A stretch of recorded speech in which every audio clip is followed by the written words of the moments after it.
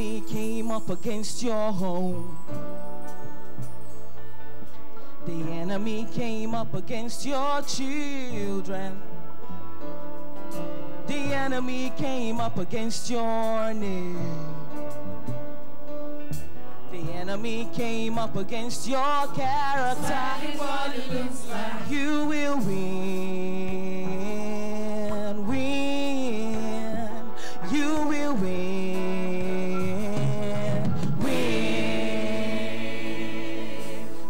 enemy came up against your health. The enemy came up against your finances. Your finances.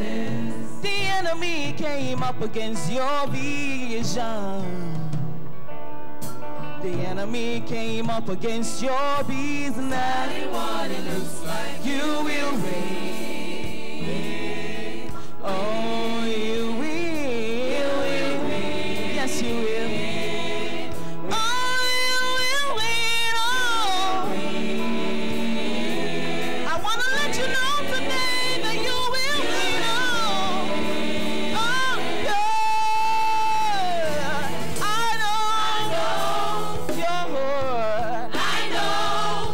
time.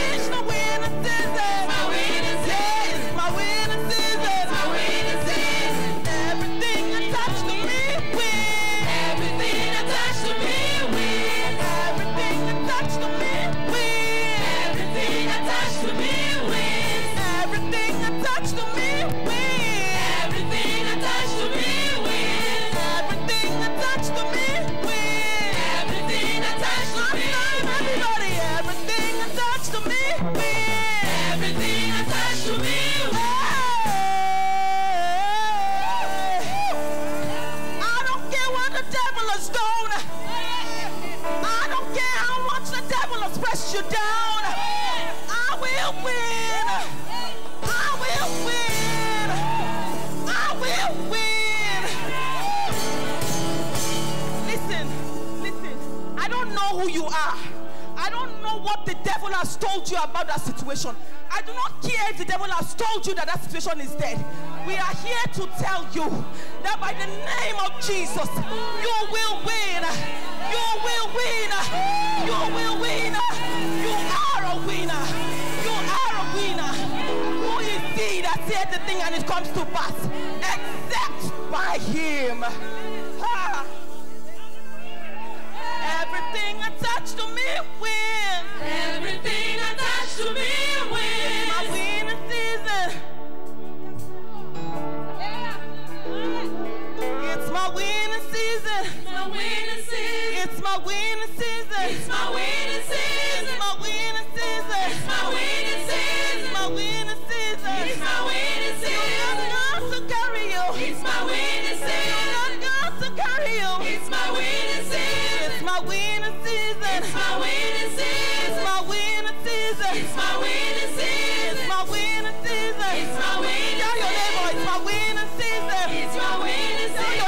My winning season. It's my winning season. It's my winning season. It's my winning season. Everything attached to me wins.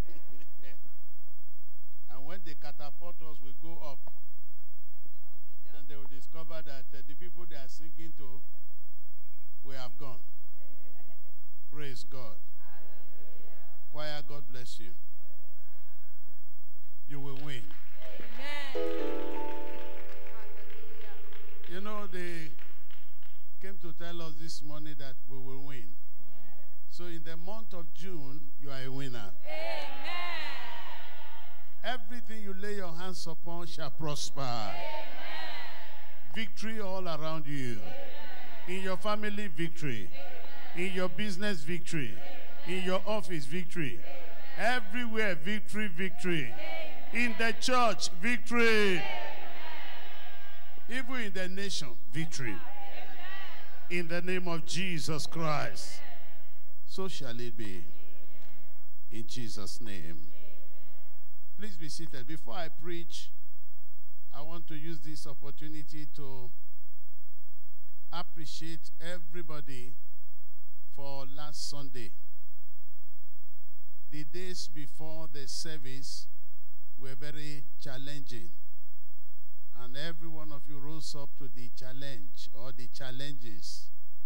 And we had a good program. Clap for yourselves. Some people are not clapping. Okay, praise God. I want to appreciate all our leaders. You did well. God bless you in Jesus' name. Choir, you did exceptionally well. God bless you. Praise God. Our ushers, their dressing on that day was something else.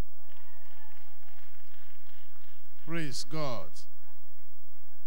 Before that day, the prayer rooms were on fire. And by that day, we saw the effect of prayer. Prayer department, the Lord bless you all.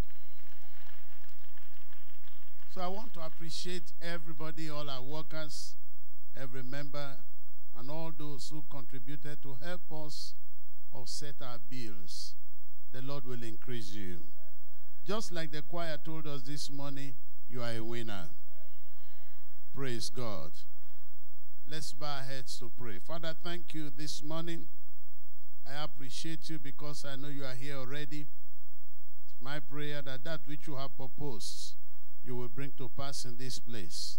And bless every one of us as we hear your voice.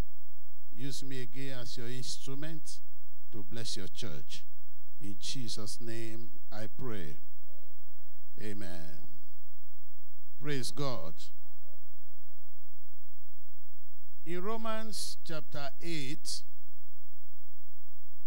I'll read from verse 12 to 17. Romans chapter 8 from verse 12. Therefore, brethren, we are debtors not to the flesh to live after the flesh. 13. For if we live after the flesh, we shall die. But if you through the Spirit do mortify, to mortify that means to kill the deeds of the body. What did he say will happen? Ye shall live. Meaning it's a responsibility to bring our bodies under subjection to God. He says we should mortify, we should kill the evil deeds of the body so that they will not be named among us. Verse 14. For as many as are led by the Spirit of God, they are the sons of God. 15. For you have not received the spirit of bondage again to fear, but you have received the spirit of adoption, whereby we cry. What are we crying? Abba, Father. This is the result of confident relationship between the believer and God that goes beyond religion into something much more personal father son relationship. Verse 16 The Spirit itself beareth witness with our spirit that we are the children of God. 17. And if children, then heirs, heirs of God, and joint heirs with Christ, if so be that we suffer with him, that we may also, what do you see there? that we may be also glorified together. Praise God. I'm speaking briefly this morning on the topic I titled The Sons of God. The Sons of God. This has become very necessary because as the days go by, many in the church are losing commitment, are losing focus. Whereas people should go to hell from the world, but many will be going to hell from the church. Because we are losing our consecrations. We are forgetting why we have relationship with God, the purpose of our calling. In those days, when a believer dies, those that are yet alive, they declare he has gone to heaven because of the testimonies he left behind. But today, it's no longer easy to hear that somebody dies and you say, may he so rest in peace because you cannot account for his or her life. So many secrets, and it's becoming too much. So I'm speaking this morning on this topic, the sons of God, that we may know the things expected of us. Brethren, to have sons, God gave his only begotten son. He gave his only begotten son. And the Bible says in John 3, 16, For God so loved the world that he gave his only begotten Son, that whosoever believes in him will not perish, but have everlasting life. So, to have sons, God gave his only begotten Son. The purpose of being born again in Christ is for us to be translated into sons from children. Translated from son, I mean from into sons from children. But many are just happy being children. But God wants you to come up to become sons. If you read Isaiah 9 6, the word of the Lord says, Unto us a child is born. When he was born as a child, oh, angels announced his birth.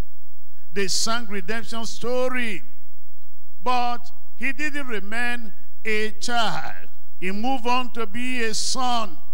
He says, Unto us a child is born, unto us a son is given. What is the difference between the child and the son? The child is immature. The son is mature to the point of responsibility and having ability to go into receiving delegation from the father.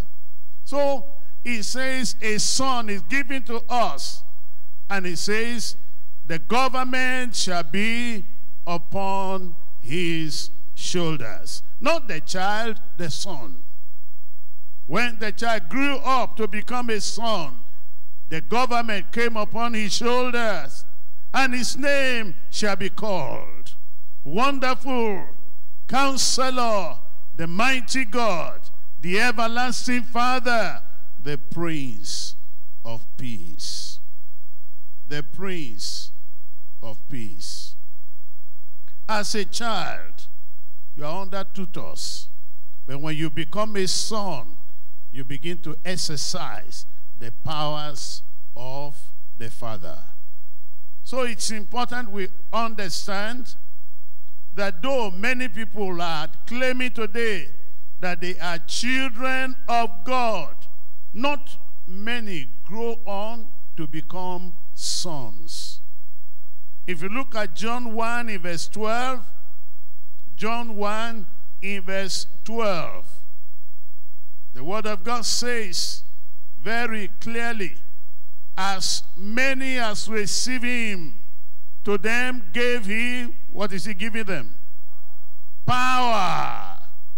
To what? To become the sons of God.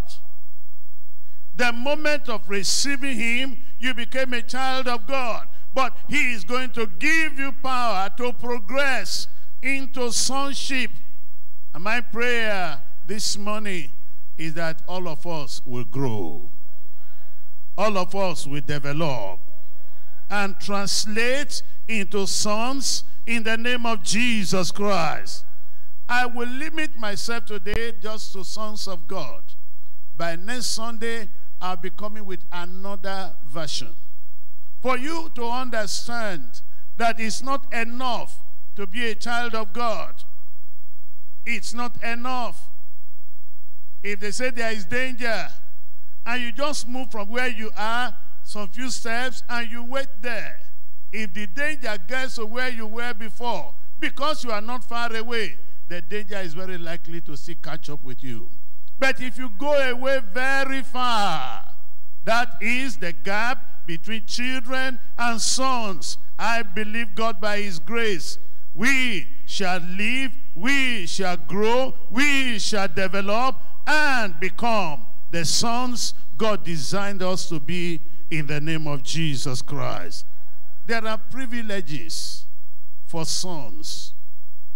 Number one, sons of God are spiritual.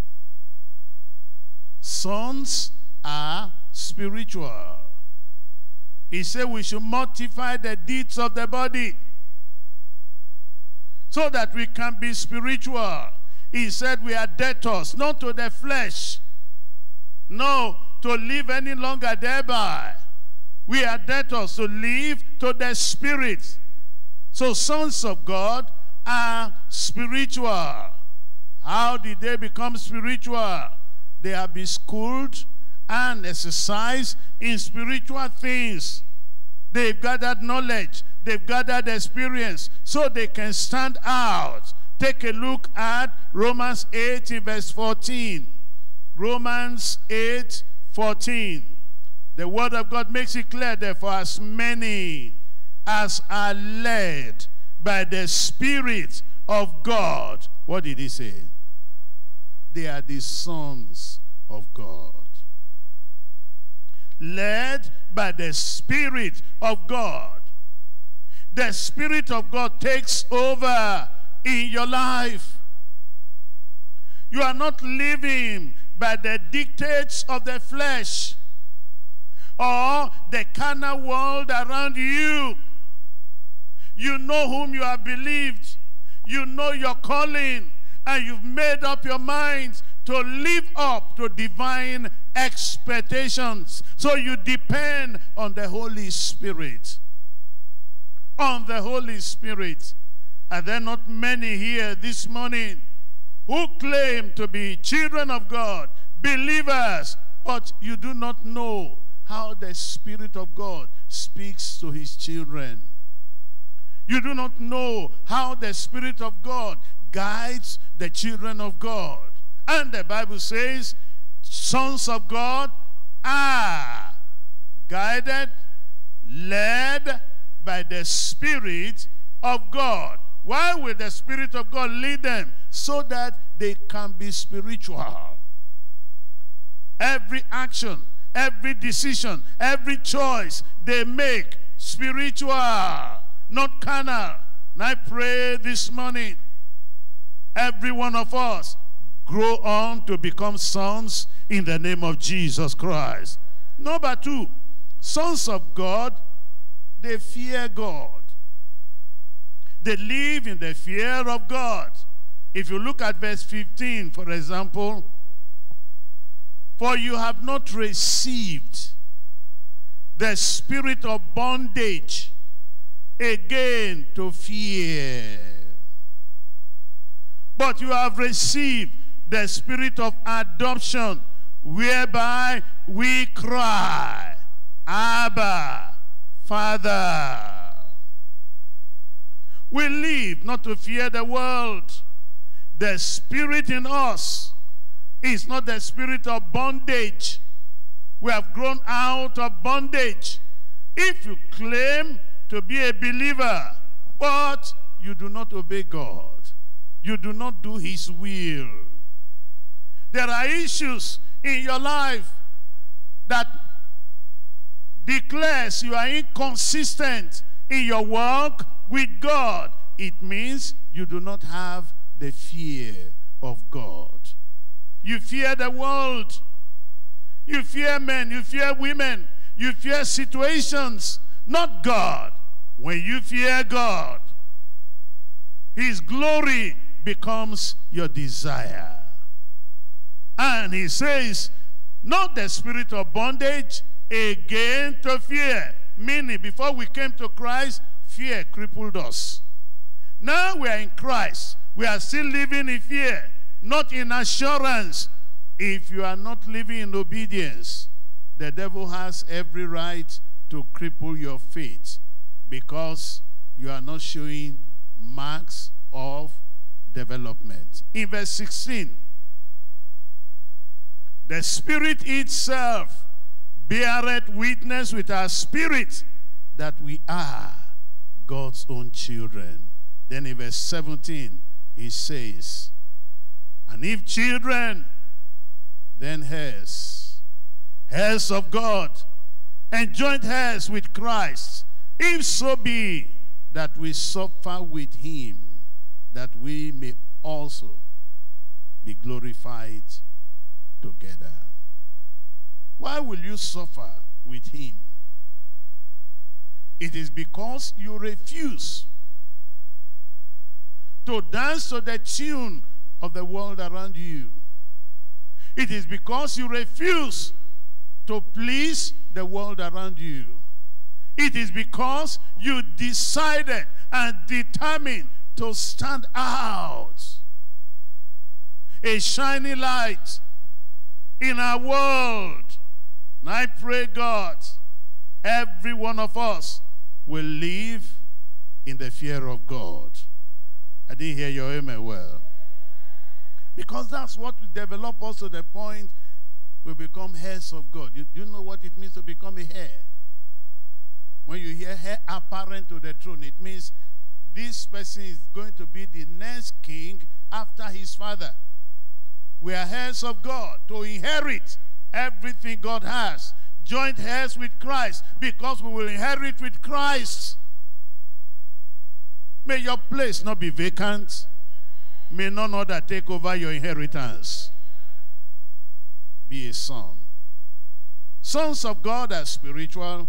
Sons of God fear God. Number three, sons of God enjoy grace.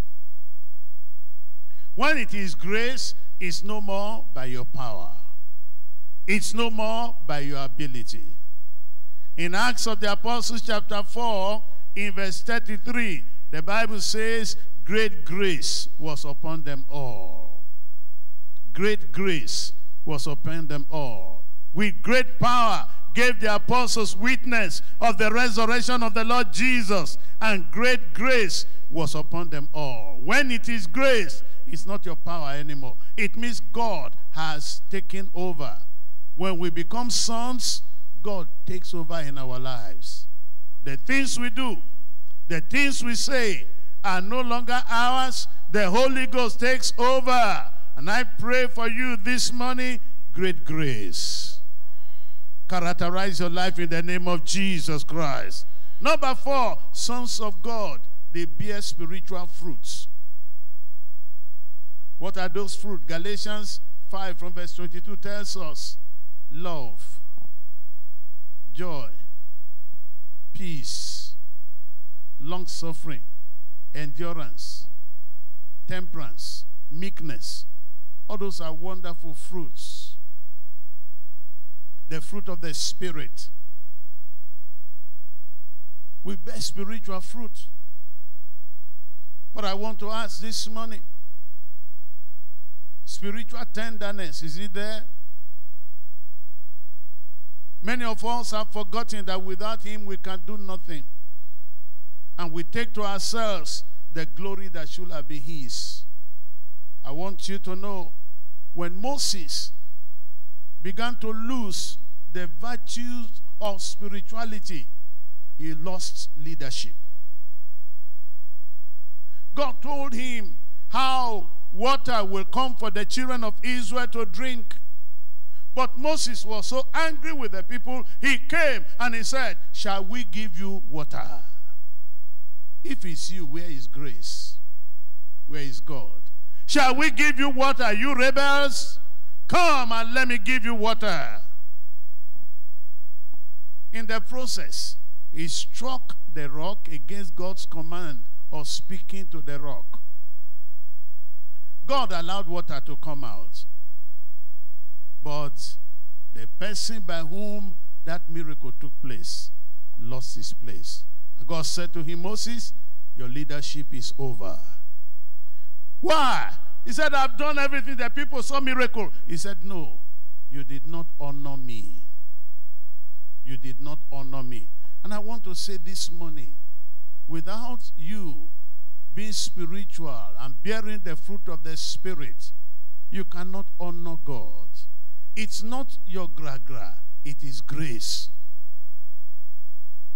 It's not your smartness, it is grace. It's not your connection, it is grace. Take away grace, every other thing will fail around you. So I want to let you know this morning that sons of God, they bear spiritual fruit. You see grace in manifestation in love, in tenderness, in meekness. And it affects everything about them. And I pray that God has called us to move from children to become church. Who this morning? I didn't hear you well. Sons. Sons of God, number five. They have divine authority and power. Jesus said, I give unto you power. In another place, he said, Whatsoever you bind, I give you authority. Whatsoever you bind on earth, what did he say will happen? Bound in heaven. There is no reason why you, a believer, will make proclamations in the name of Jesus and you are still waiting for months to see when it will come to pass. That's not God in action. So I pray this morning that your authority will come back. Oh my God, I didn't hear you. The power will come back. There is no way you can put Satan where he belongs if you are not exercising authority and exercising power. You know children. Children do not exercise authority, do not exercise power. Where the housemaid says, sit there, the child will sit. But the day comes, the child begins to realize, I'm a son in this house. And the maid says, sit down there. Say, why should I sit down here? Daddy says I should sit here. Praise God. Language has changed because with sonship comes authority. With authority comes power. He said, you are going to take beans this afternoon. He said, no, I want rice. Beans had been prepared, but he has assumed sonship. So he's now making declarations and people are dancing to it because that's the hair in the house. Your place must not be taken over. But when you have not lived up to it, you cannot assume it. That's the problem with many of us. Because we are not living up to it, we cannot assume it. When we assume, the devil will not obey. The situations will not obey. But I pray God this morning we will live up to expectation. I didn't hear your amen well. Number six, the sons of God, they shine alive. Jesus said we are the salt of the earth. We are the light of the world. He said, let your light so shine that men may see your good works and glorify your Father which is in heaven. We are no more children. Let's put away childish things and let us shine to the glory of our God. The glory of our God. Many are proclaiming, I'm a Christian, I am this, I am that, but not many are shining. Not many are shining. And because not many are shining, we gather together to pray. We do not make impact. But God forbid, from today it's over. Because sons are rising in the name of Jesus Christ. We shine. How do we shine? By our good works. By the characters of Christ exhibited in us. And I'm believing you will shine. Let me hear you say, I will shine. Isaiah said, Arise, shine, for your light is come. The glory of the Lord is risen upon thee. Which means when you are shining, it is the result of God's glory upon you. When you are not shining, you are lacking in glory. How can you say you are of God when there is no glory? No glory. When the glory is there, it will show in your visage. It will show in your comportment. It will show in your language. It will show all over the glory. And I pray we must shine. I say we must shine. Sons of God will not only shine, sons of God are true ambassadors of Christ. True ambassadors of Christ. In 1 Timothy chapter 4, in verse 12. First Timothy chapter 4 in verse 12. What do we see? Let no man despise thy youth. But be thou an example of the believers in word, in conversation, in charity, in spirit, in faith, in purity. I want to let you know this morning that when Jesus was going away, what he left as a name and title for the believers was disciples. Disciples. Today, what we should have been called should be what? Disciples of Christ.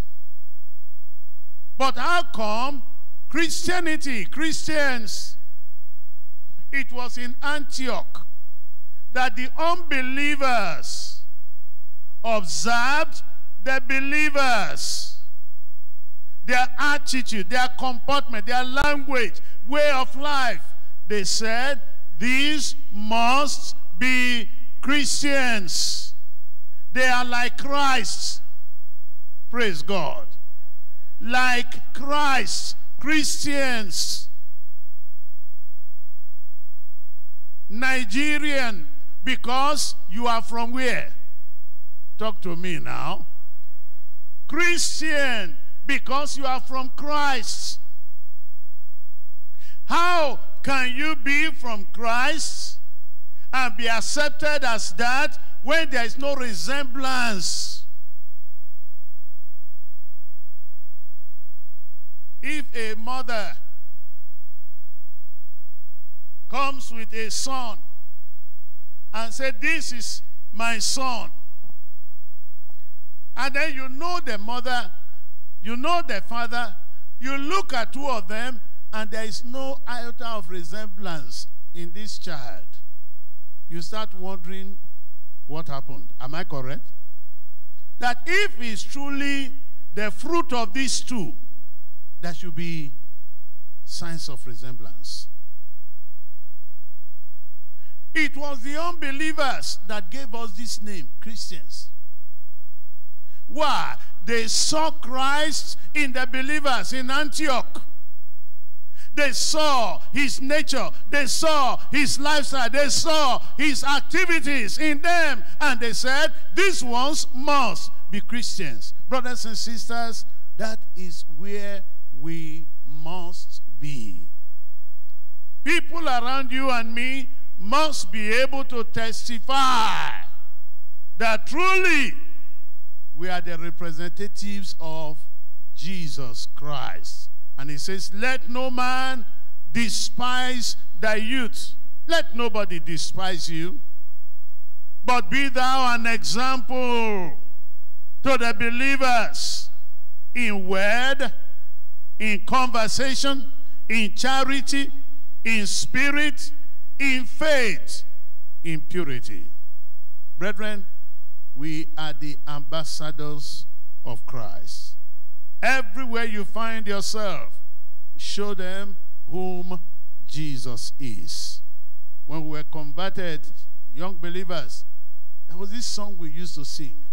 It says, Everybody ought to know, everybody ought to know, everybody ought to know, everybody ought to know, everybody ought to know, everybody ought to know whom Jesus is, whom Jesus is. Praise God. It was not just only by our preaching and telling them that Jesus saves, they saw Jesus in us. If you are not looking like him, you cannot become a son. If you are not a son, you cannot be an heir. If you are not an heir, you have no place in the kingdom of God. And I pray that this morning, every one of us will examine our lives and ask God to have his way in us in the name of Jesus Christ. Sons will dwell in glory with Christ, And Jesus said, Let not your heart be troubled. Believe in God, believe also in me. In my Father's house there are many mansions. I go to prepare a place for you. When I am through, I will come back and collect you. That where I am in glory, there you will be also. Not long from now, he's coming. In First John chapter 3 from verse 1, he says, Now are we the sons of God. But it does not yet appear what we shall be. But when we see him, we shall see him, we shall be like him, we shall see him as he is. When we see him, we will be like him. Are those signs there now? It's not going to be automatic on that day. If you have been a liar all your life, you will not speak through that day for the first time. Please, start now. Let's examine ourselves. Why do I need to be a son? That's what Christ died to make us become. That's why God sent his son into the world. Sons are those he will empower. Sons are those he will send forth. And the world is waiting for sons to come up.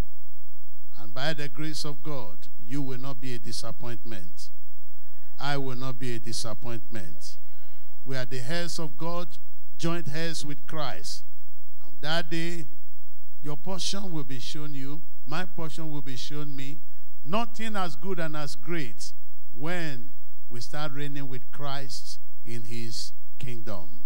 I want to let you know we are not into any kind of game. This thing is real. This is a serious business, serious matter. I want to encourage you. Grow up from a child. Be a son. And let God be pleased with you. You know what he says? He said, This is my beloved son. In him I am what? Well pleased. That should be said of every one of us. If you do not end that testimony here, you may not be anywhere later with him. My prayer is that all of us will have a change of mind and allow God have his way in us in Jesus' name. Rise up on your feet. My encouragement to you this morning is move on from a child to becoming who? I didn't hear you well. Son. Son. That's the design of God. And we shall become sons. He says, if sons, then heirs. Heirs of God. Joint heirs with Christ. Now are we the sons of God. Not later, now. If you have not become here, you will never become again. The church is God's workshop where all his panel work, spraying work, redesigning work is going on, getting his children set and ready. And this morning is saying, he wants you to grow on to become a son. That's where you can exercise authority. And the world of today needs you to exercise authority. The way people die these days is funny. If you are not a son, it's a pity.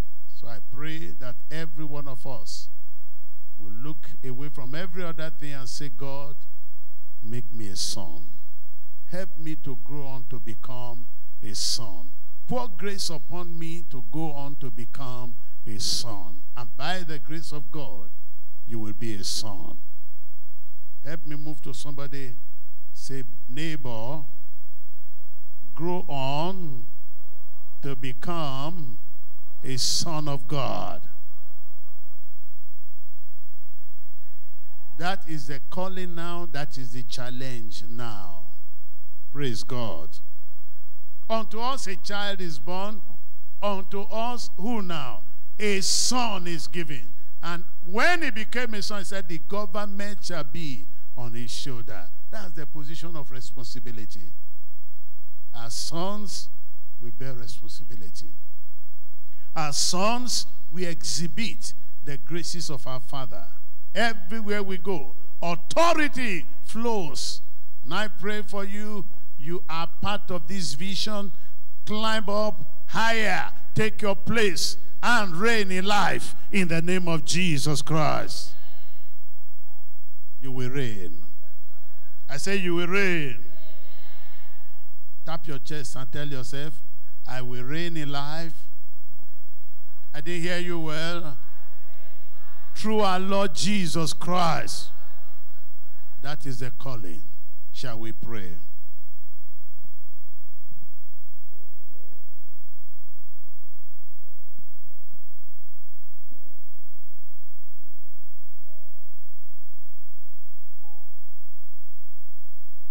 He made you his child that he could make you a son.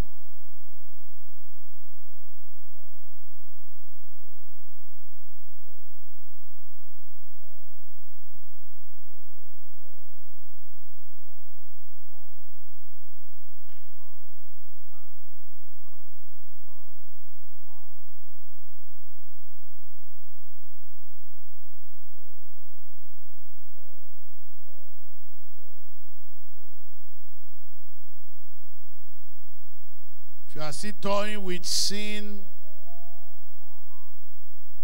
you are not mortifying the deeds of the body.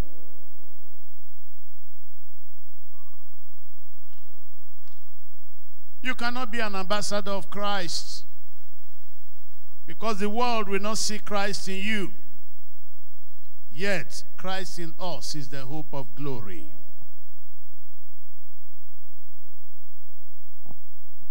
In Jesus' name we pray.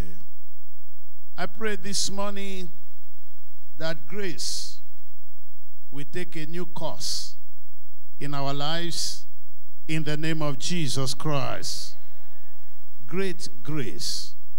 So that henceforth we are living as sons, not just as children, in the name of Jesus Christ. May the world around you see Jesus. May your life tell the story of Jesus. May the power of Christ be resident in you. May authority manifest through you. Everywhere you go, may the beauty of Jesus radiate in the name of Jesus Christ. Let people testify like they testified in Antioch that these ones are Christians. Let them testify that they can see Christ in you, see Christ in me, see Christ in us in the name of Jesus Christ. And whatever will reduce our worth before Christ and before the world, I pray that this day they are subject to the cross in the name of Jesus Christ. Let God have his way in our lives so that henceforth we are pillars of progress to the glory of his name in the name of Jesus Christ. I pray for you, move from being a child of God become a son of God in the name of Jesus Christ. Thank you, my Father. In Jesus' name I pray. Amen.